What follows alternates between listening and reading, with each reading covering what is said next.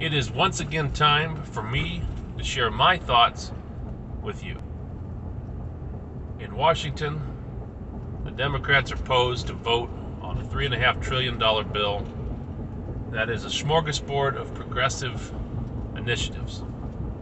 In order to overcome the arcane tool of the filibuster, they are relying on another arcane tool called reconciliation. Both tools have been misused by both parties in order to advance each party's agenda.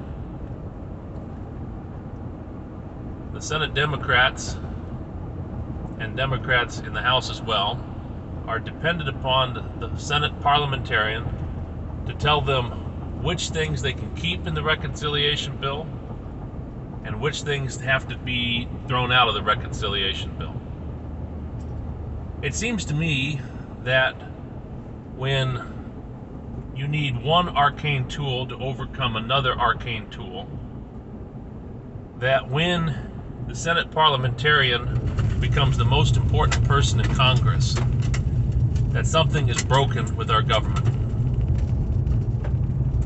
Maybe I'm just pointing out the obvious.